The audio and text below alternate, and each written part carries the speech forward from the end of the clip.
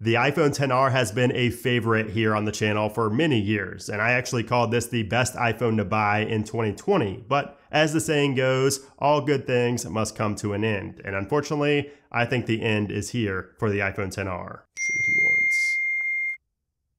You can buy an iPhone XR for less than $200 now?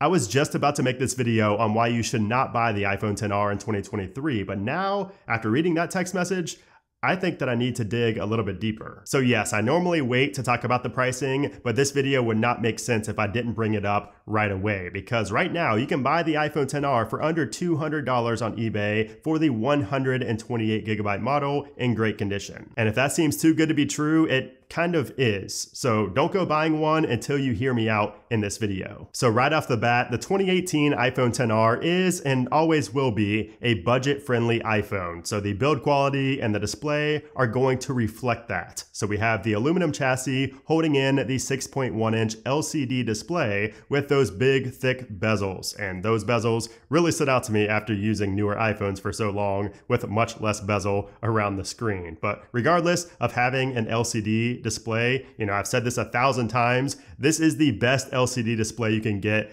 on an iPhone or any phone, in my opinion. It's Apple's Liquid Retina HD display, and it has a resolution of 1792 by 828 and a pixel density of 326 pixels per inch. And along with that, you get 625 nits of peak brightness, which is the same level as the iPhone 11 and the iPhone 12. But using it out here, you know, I'm just getting a lot of reflections. When I'm around all these trees and everything, I'm just getting a lot of reflections and I'm kind of squinting my eyes a lot when I'm trying to see what's on the screen. So not the greatest, especially coming from an OLED phone on the iPhone 14. I'm just used to being able to see everything great outdoors. It's just not the best here. However, when I was indoors, I did thoroughly enjoy everything. Watching videos, browsing TikTok, everything was perfectly fine when I was indoors and not under direct sunlight or not under a direct light where I got a lot of reflections on the screen. But still, at the end of the day, this is an LCD display and it's not going to be comparable to an OLED display. The OLED display is always going to be better. So if you're trying to decide between LCD or OLED, I would go with the OLED phones, especially now that they're more affordable than they were back then. I'm looking at you, iPhone 12. But as far as the exterior design, I think it's better than the iPhone 11 or the iPhone 12. It's just so clean looking with that simple single camera design. And you also get six color options to get one that matches your aesthetic. I chose red and it's still one of my favorite shades. Although if I had to choose again, I would probably go with the coral color because it's a bit more unique and rare and it just looks really good in person. But having this phone out in public, nobody's really gonna know that this is a five year old phone unless they saw the camera on the back. But even then, they wouldn't think it's a five year old phone. And that's because, you know, the lack of the home button on the front makes it look more modern. And speaking of that clean design, let's talk a little bit more about that solo camera on the back. It's a single firing 12 megapixel lens. And since we only have one lens, that means you don't get the 0.5x option or the 2x option to zoom in or zoom out. You're just stuck at 1x. So if you want to digitally zoom into something, you know, while taking a photo or video, prepare for the quality to be, let's just say, less than ideal. I noticed a lot of grain every time I zoomed in. We're also missing night mode, deep fusion, HDR video, and quick take video, all of which I actually use regularly on the later generation iPhones. So that was kind of disappointing to go back to, especially not having night mode or deep fusion. This was, however, Apple's first foray into post image processing in the form of Smart HDR, and it made a huge difference at the time and even today, I mean, the photos and videos taken from this phone are not bad at all when you get it in good lighting conditions. It's just when those lighting conditions are not the greatest or when that object isn't close enough that you need to zoom in a little bit, that's where you start to see the age of the camera system on this phone. At the end of the day, the iPhone XR is just a basic bare bones camera. And there's nothing wrong with that, especially given the price, but it's nothing more than just a bare bones camera given the current landscape in smartphone cameras. So now we have to talk about battery life. And, you know, I'm at 94% battery health on my XR, which I think is tremendous. I mean, most people have under 90% after this long. And I've been using this every single day since it launched. Maybe not as my main device, but it's always been on. I've always been using it pretty much every single day as a secondary device. So 94% is quite impressive. But if you're under 80% or if you're near 80%, you could always replace your battery for, I think it's 89 bucks from Apple, or you can do it for $40 yourself via iFixit. But in terms of usage here in 2023, it's honestly not as bad as I thought it would be. You know, I get around five, five and a half hours of screen on time when doing basic things like web browsing, watching YouTube,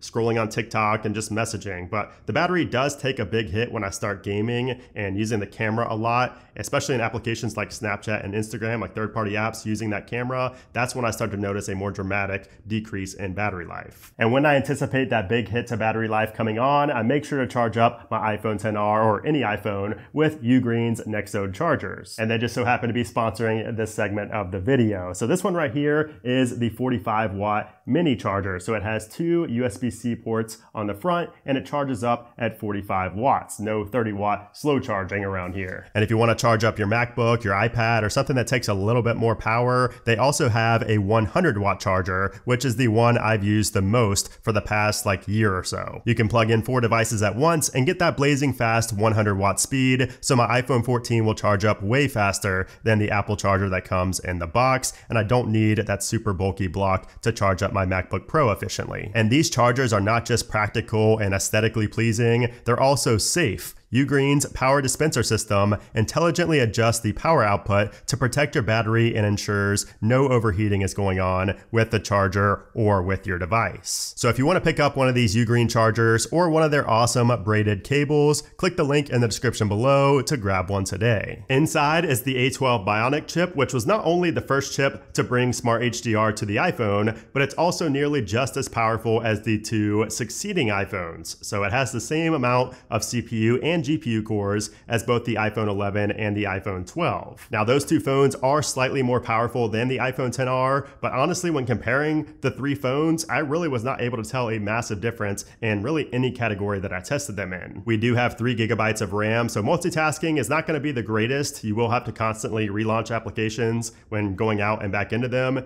It was frustrating at times, especially in games. You know, I would have to restart the game because I couldn't go to Twitter and tweet something and come back to the game without it relaunching. So it did get quite annoying after a while and definitely not something I could see myself using on a constant basis. Since I'm kind of all over the place, I'm always going into different applications at the same time, but that is something I did want to point out. But like I always say, if you just need a phone for your basic tasks, like most people probably do, you know, where you're just on social media, you're messaging, you're maybe using Snapchat, Instagram, the iPhone XR is going to be perfectly fine. Just don't put too much strain on the CPU or GPU on this phone. Like don't do, you know, hour long gaming sessions if you're not hooked up to a charger. Don't, you know, consistently be posting on Snapchat or Instagram stories. That's going to drain your battery and it's also going to lead to more lag. I should also mention that Face ID was not as bad as I was expecting given the 8 core neural engine, which is compared to the 16 core on the iPhone 12 and up. So it did take a little bit longer to scan my face and it wasn't as accurate, I would say, but it never drove me crazy. So I call that a win for the iPhone XR. We also cannot talk about the iPhone XR in 2023 without talking about its life expectancy in terms of software support. And unfortunately, the iPhone XR has a limited future. I would say maybe one to two, maybe even three more years of software support is left in the tank for the iPhone XR. I think it could very well be the oldest device supported by the time iOS 18 gets released in a couple of years. But if you're only needing a phone to get you by for the next couple of years and you have a $200 budget, I don't think you can go wrong with the iPhone XR. As a matter of fact, I think this is the best phone you can buy right now under $200 out of any other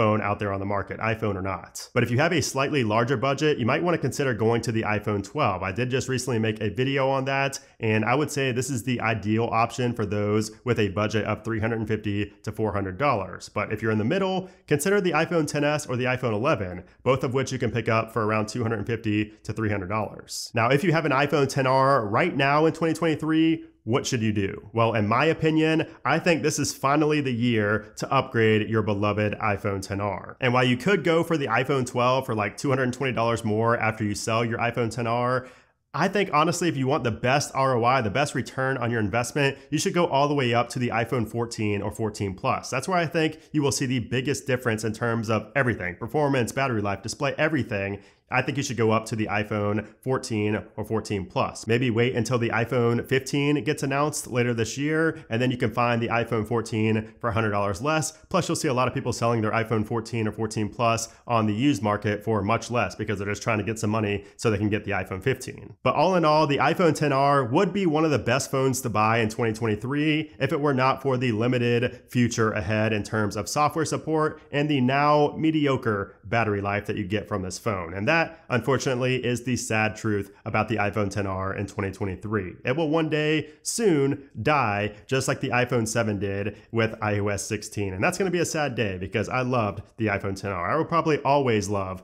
the iPhone XR. So if you have an iPhone XR in 2023, or if you plan on getting one this year, let me know your thoughts down there in the comments below. Do you agree? Do you disagree with everything I said? I'm curious to see what you have to say. And if you enjoyed this video, you'll probably also enjoy this one right here. So go ahead and click on that link right there and check that out. But anyways, thanks for watching. I'll see you soon.